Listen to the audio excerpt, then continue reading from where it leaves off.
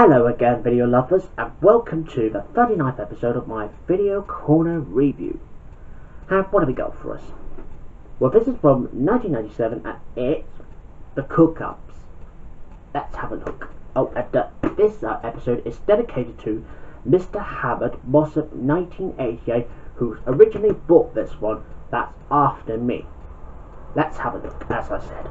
As you can see um there's a picture of um, Ainsley Harriott and Kevin Woodford. Hmm, because they both look a bit depressed and disappointed. It's because of all these calamities going on to the cook in the kitchen. And see, there's the uh, bleeps and blunders and outtakes from Can't Cook Won't Cook, the original BBC programme, with some memorable moments from Ready Steady Cook. Well, Ready Steady, look at the spine now.